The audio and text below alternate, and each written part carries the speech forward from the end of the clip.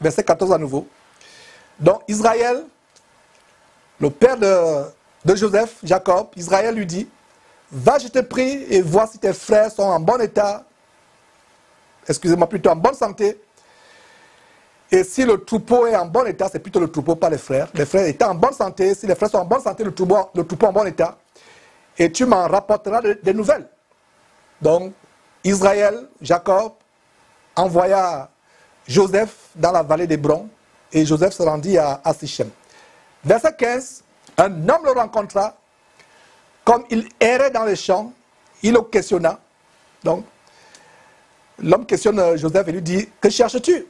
Verset 16, Joseph répond à cet homme et dit, je cherche mes frères, dis-moi, je te prie, où ils font perdre leur troupeau. Verset 17, et l'homme dit, ils sont partis d'ici, car je les ai entendus dire, allons à Dothan. Joseph alla, auprès, alla après ses frères et il les trouva à Dothan. Mes frères et sœurs, nous avons ici un détail sur la bonté, la diligence et le grand dévouement de Joseph. Il aurait pu s'arrêter en, en Sichem. Rappelez-vous que ses frères le détestaient. Mais il n'a pas détesté ses frères en retour. Mais Joseph est déterminé à exécuter fidèlement la mission que son père lui a confiée, à savoir retrouver ses frères. Voilà pourquoi nous comparons, je compare Joseph à Jésus-Christ. Ses frères le haïssent, mais il, les aime. Il va vers eux pour voir s'ils se portent bien. Certainement, Joseph, euh, certainement Jacob lui avait donné un peu de pain, un peu d'eau pour euh, aller euh, les soulager. Et le voilà se rend à, à Sichem. Il ne trouve pas ses frères dans un endroit. Il se rend dans un autre endroit. Alors qu'il aurait pu retourner vers son père. Mes frères et sœurs, soyez comme euh, Joseph vis-à-vis -vis de nos frères et sœurs en Christ. Même ceux qui ne sont pas dignes de notre amour. J'aimerais ouvrir une parenthèse par rapport à ce que nous avons partagé dimanche passé dans notre petite église de, de maison ici à Houston. Euh, sur l'amour véritable.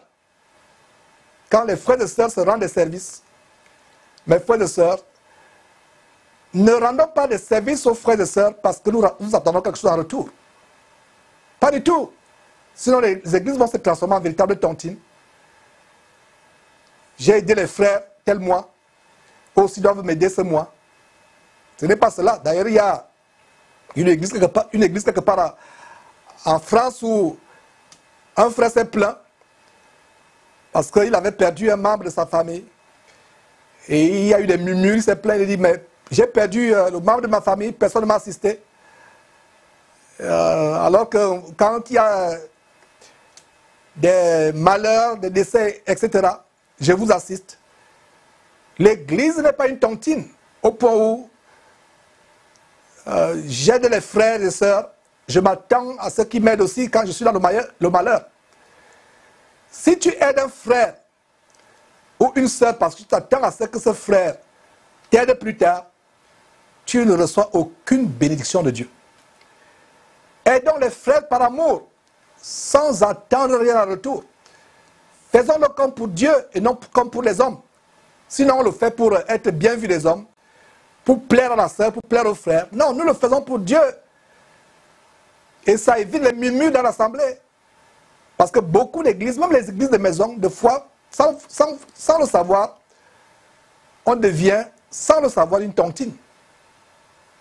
Vous vous attendez à ce que les gens vous aident parce que vous avez passé le temps à aider les autres. Et je rends grâce à Dieu de ce que dans notre petite église, il y a un nouveau don que j'ai découvert, le don de libéralité. C'est une habileté, les gens cherchent seulement le don d'enseigner, le don de prophétiser, le don d'avoir des visions. Mais il y a un don, le don de secourir, le don de soulager, le don de libéralité, c'est un don qui existe et beaucoup de chrétiens ne cherchent pas ce don. Je rends grâce à Dieu de ce que nous avons cela dans notre petite église. Comment l'amour c'est en train de s'installer, de, de se bâtir. Et vous qui euh, faites partie de cette petite église, ne me faites pas avoir honte plus tard si un jour on apprenait que ce que Jean disait est faux. Parce que voilà ce qui se passe en réalité. Que j'aurais honte ce jour-là. Donc le fait pour moi que je dise ceci, c'est encore un très grand défi à rester dans ce standard d'amour les uns pour les autres. Et ce n'est pas un amour qui est venu du jour, du jour au lendemain. C'est un amour que nous avons eu à travailler, se supportant les uns, euh, avec les uns envers les autres, mettant les, les points sur les i quand il fallait mettre les points sur les i, confrontant certaines choses. Mais nous voyons comment l'amour est en train de s'installer. Petit à petit, nous rendons grâce à Dieu pour cela. Donc, voilà Joseph qui n'aurait même pas de préoccupation vis-à-vis de ses frères. Mais il est parti à cause de quoi? À cause de l'intégrité. Voilà un détail de ce que Joseph craignait Dieu. Donc, n'aidez pas les frères pour vous faire voir. N'aidez pas un frère ou une sœur en faisant les mathématiques, les calculs. En vous disant, moi aussi, quand j'aurai un problème, il va m'aider. Sinon, c'est des, aides d'investissement. Et quand je partage ces réunions, Sostel a sorti le mot le, soutien investissement ou aide investissement. J'ai aimé cela. Ça veut dire que vous c'est un investissement. Le frère malheur, je l'aide parce qu'un jour, je serai aidé. Ça, c'est la malice. Ça, c'est les aides investissement. Cela se passe dans les tontines ou dans les réunions des, communautés de ressortissants de tel pays, Burkina Faso, Camerounais, ressortissants. voilà, ça se passe dans les choses mondaines.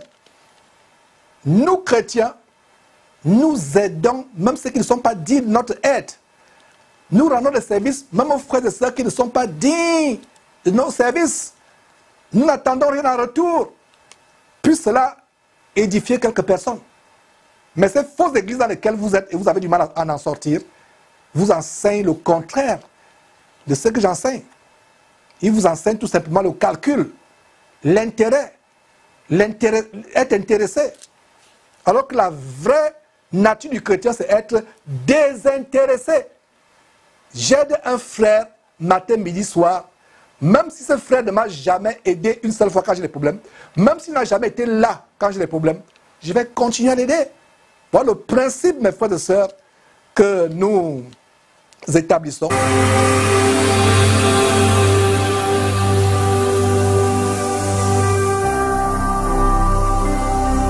Jésus-Christ TV connaîtrez la vérité et la vérité vous affranchira. Mais frères et sœurs, nous allons euh, continuer avec euh, cette, euh, cette, émission. Et avant la pause, il y avait, on a reçu cette question d'un frère, Kalou Abba, je ne sais pas si c'est un frère ou c'est une sœur, Kalou Abba sur YouTube, qui débat de ce qu'il y a des personnes qui ne sont pas dignes d'être aimées. En fait, c'est une manière de vous expliquer que même si humainement, selon le monde, cette personne vous a tellement fait du mal que même devant Dieu, cette personne euh, passe pour une personne méchante, même nos ennemis, nous leur faisons du bien. Voilà, c'est une précision. Et ça veut dire que si nous faisons du, mal, même aux personnes qui ne sont pas dignes de notre... Si nous faisons du bien, pardon, si nous faisons du bien, même aux personnes qui ne sont pas dignes de recevoir notre bien, ça veut dire que toute personne, pour nous chrétiens, est digne de recevoir notre, notre bien. Très bonne intervention pour, euh, pour classes de détail. Mais il y a des personnes, la personne vous a fait du mal, la personne euh, est tellement méchante, euh, la personne vous a même tué un membre de la famille, au point où, devant l'homme naturel, l'homme normal, la personne ne serait pas digne d'être aidée par vous. Mais nous, chrétiens, nous usons de bonté. C'est le cœur que Dieu nous donne quand nous sommes transformés véritablement. Euh, c'est pour ça que la Bible dit si ton ennemi a faim, donne-lui à manger. S'il a soif, donne-lui comment? À boire. Retournons en Genèse chapitre 37. On voit comment euh, le grand amour euh, de Joseph l'amène à chercher ses frères même si ceux-ci ne l'aimaient pas. Il manifeste un grand amour pour ses frères. Il ne se décourage pas. On leur dit, ils étaient dans un tel endroit, ils sont partis, ils ne retournent pas vers son, frère, euh, son père. Il est diligent, il est dévoué, rempli d'amour, il veut retrouver ses frères. Mais c'est pour aller presque mourir. C'est terrible. Il a de l'amour pour ses frères, de la bonté. Mais on va voir ce qui va se passer par la suite. Verset 18.